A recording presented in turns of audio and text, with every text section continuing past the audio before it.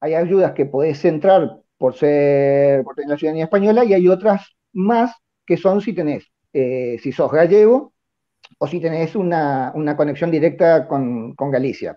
En este caso con mi abuelo, digamos.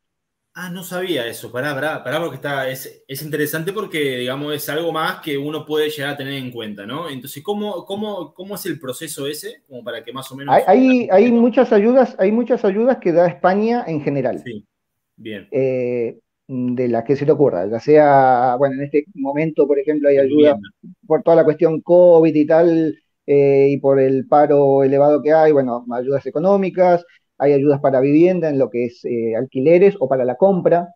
Eh, entonces, España en general da ciertas ayudas y después cada comunidad autonómica siempre también da, suma un extra para su gente. Un changüí más, sí.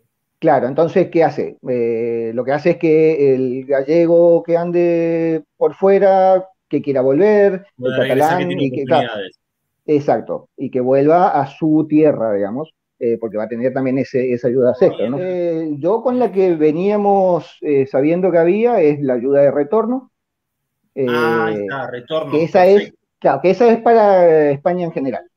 igual se gestiona así a través de la Junta de Galicia en este caso, eh, porque es eh, el ente que regula eh, la, comunidad autónoma, pero es una ayuda que te da España.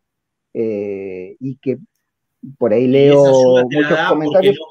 ¿Por qué no que este, esa ayuda? La ayuda de retorno es para, justamente, a ver, en el caso de mi madre, mis abuelos, si volvían, volvían a España después de tantos años de haberse ido, es una ayuda que te dan por 18 meses no es una gran cosa, pero, pero que te, da un espaldarazo, eh, una ayuda económica que, te, que, te, que tenés por 18 meses.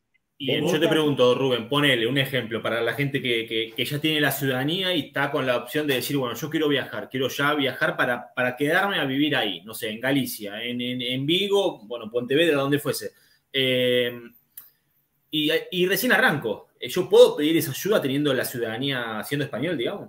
Si tenés la ciudadanía española, mm, vení, o sea, hay ciertos trámites que tenés que, eh, eh, documentación que tenés que traer, que eso ya te digo, está todo en la página, eh, en las páginas oficiales, tenés que haber estado trabajando, no quiero tirar datos exactos porque ya después de tanto tiempo por ahí se me pierden, pero creo que era haber trabajado, no sé si era seis meses o doce meses en los últimos seis años en el país del cual venís, tenés que traer esos comprobantes de algo. Yo me descargué de. Sí, del ANSES. De, ANSES, sí, esas hojas, me apostillé todo.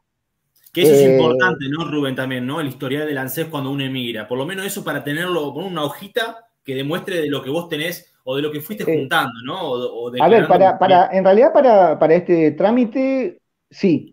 Para otra cosa no te sirve para nada. Por lo menos no, no lo necesité para otra cosa.